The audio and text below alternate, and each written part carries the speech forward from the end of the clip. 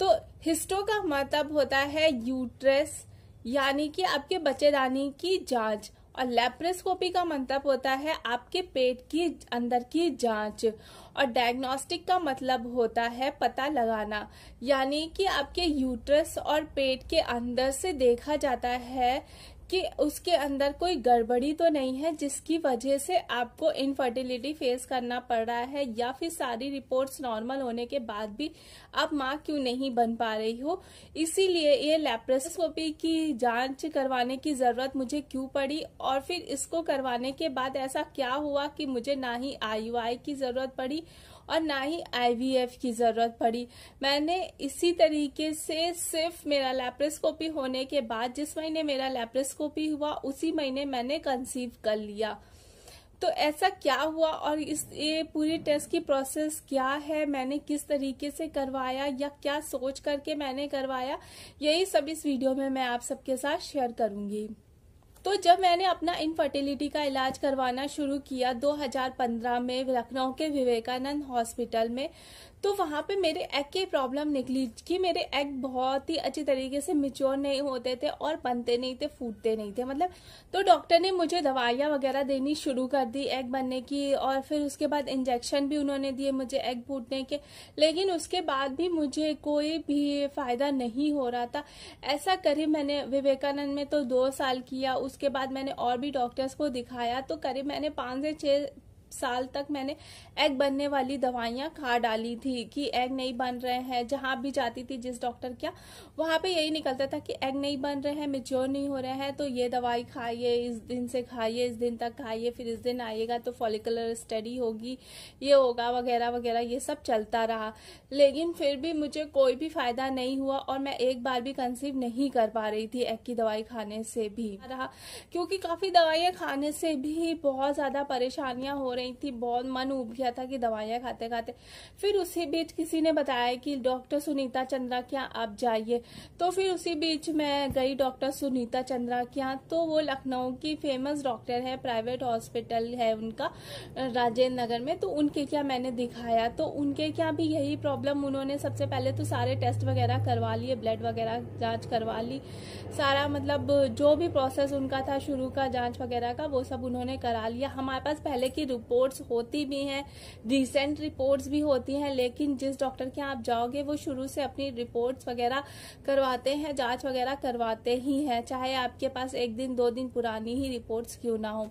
तो ये सारी जांचें वगैरह उन्होंने करवाई, उसके बाद फिर लास्ट में वही फॉलिकल जाँच वगैरह हुई तो वहाँ पे भी एक ही प्रॉब्लम आई तो उन्होंने भी फ़र्स्ट टाइम तो मुझे एग बनने वाली दवाइयाँ वगैरह एक दो महीने तक दी मतलब दो महीने वहाँ पे भी मैंने इसी तरीके से दी, फिर उसके बाद उनको कुछ समझ में नहीं आया। उन्होंने कहा कि तुम काफ़ी बार ये इलाज कर चुकी हो तो तुम अब आगे का प्रोसेस करो। तो उन्होंने मुझे सजेस्ट किया लैप्रोस्कोपी के लिए।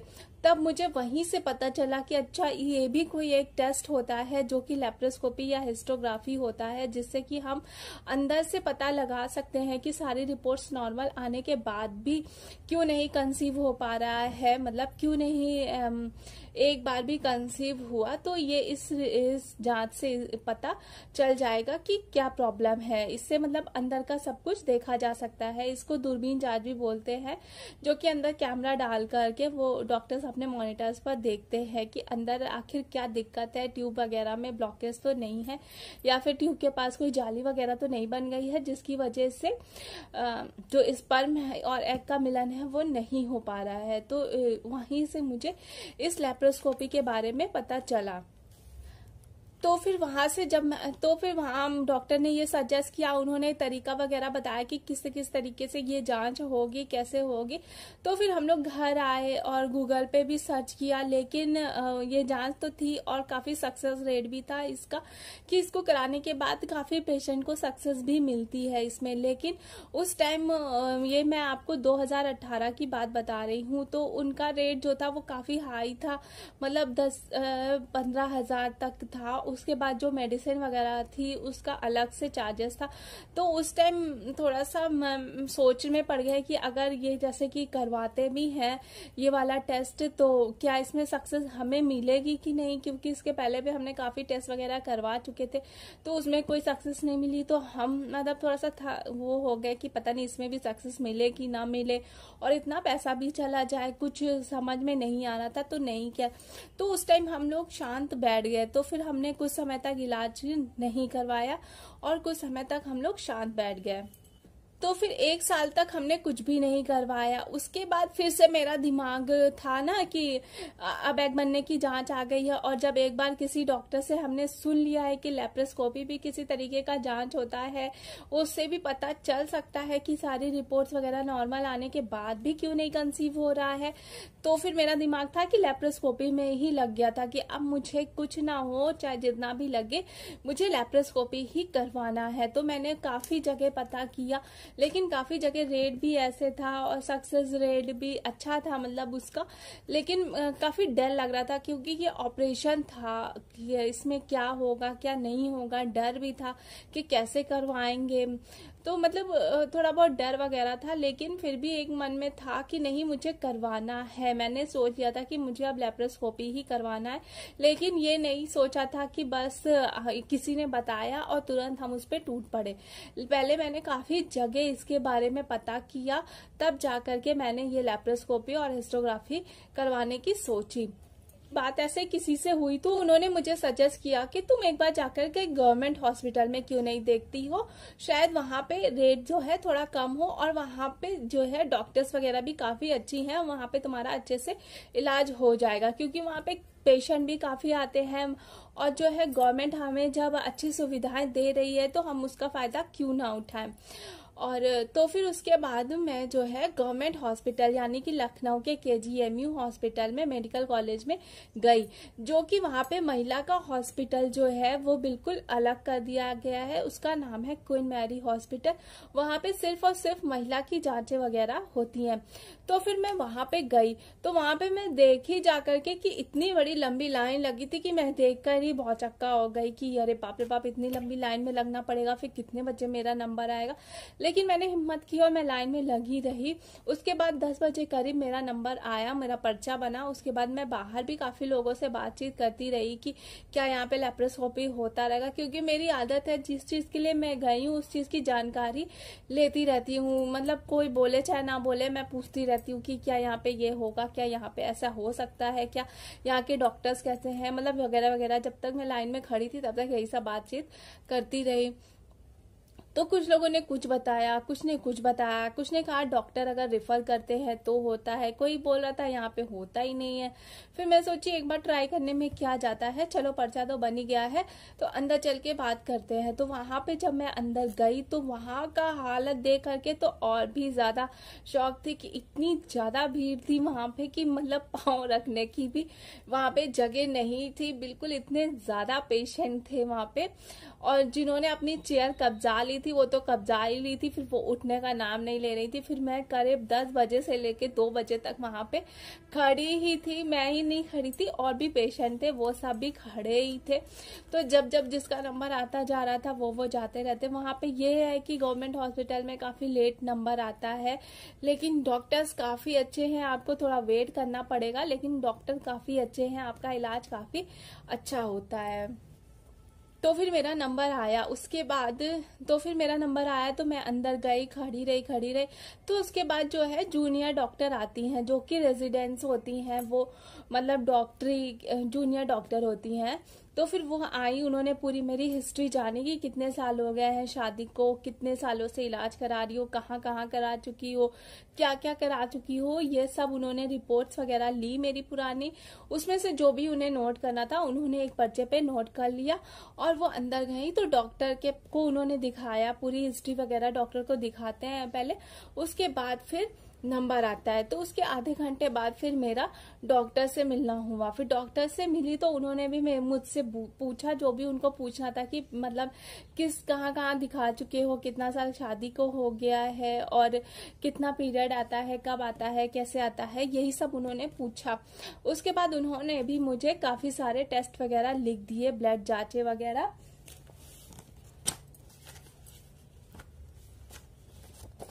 जैसे कि ये आप देख सकते हो, ये मेरी हिस्ट्री उन्होंने लिखी थी और यहाँ पे उन्होंने जांचे वगैरह लिखी थी। और ये देखिए एडवाइस किया था। उन्होंने बहुत सारी जांचें वगैरह टेस्ट की हैं और अल्ट्रासाउंड है इसमें। ये इनमें से काफ़ी टेस्ट वगैरह थे जो मेरे पहले हो चुके थे। काफ़ी क्या थे, बहुत जितने भी जांचें उन्होंने लिखी थी, वो मेरी पहले भी काफ़ी हो चुकी थी, कई बारी हो चुकी थी। सारे ये थे कि ब्लड टेस्ट ही वगैरह थे, लेकिन गवर्नमेंट हॉस्पिटल में जाओ तो ये होता है कि एक्स्ट्रा भी कुछ जांचें वगैरह होती हैं जो कि प्राइवेट हॉस्पिटल में नहीं करवाते हैं डॉक्टर्स, जैसे कि होता है, आपकी एचआईवी की एचआईवी जाँच होगी, आपके टीवी की जाँच होगी, और उसमें से एक जाँच जो थी वो नई थी मेरे लिए, वो थी एंडोमेट्रियल बायोप्सी थी। तो एंडोमेट्रियम बायोप्सी जो था, वो पहली बार मैं जाँच का नाम सुन रही थी, और वहाँ पे भी मुझे लगा कि अच्छा ये भी कोई जाँच होती है, जिससे पता चल सकता है कि अंदर यूट्रस में आपकी कोई परेशानी है। या फिर कुछ तो फिर मैं वहाँ पे भी गई। तो फिर मैंने सोचा कि अच्छा ये भी कोई जाँच होती है एंडोमेट्रियम बायोप्सी जिससे ये पता चल सके कि आपके यूट्रस में कोई दिक्कत तो नहीं है क्या दिक्कत है? मतलब आ, मैंने ये सोचा कि चलो यहाँ आने से भी मुझे कोई ना कोई फ़ायदा ज़रूर होगा और कुछ ना कुछ हमें पता ज़रूर चलेगा कि आगे का प्रोसेस क्या है या फिर हो सकता है कि कोई दिक्कत ही हो हमारे यूट्रस में ही कोई दिक्कत हो। तो मैंने कहा चलो लेप्रोस्कोपी ना सही तो एंडोमेट्रियम ही सही।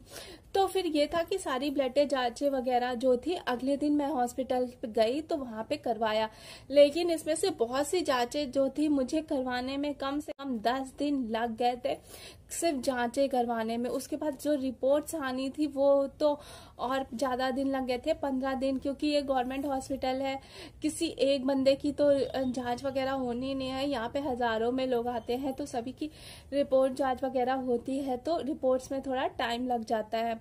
और जो एंडोमेट्रियम जाँच थी वो पीरियड के इक्कीसवें दिन पे होनी थी। तो जब मेरा नेक्स्ट पीरियड आता उसके इक्कीसवें दिन पे होनी थी तो इसी तरीके से कर करके जब मेरा एंडोमेट्रियम जाँच की बारी आई तो मैं जुलाई में एंडोमेट्रियम करवाने के लिए गई डॉक्टर के पास।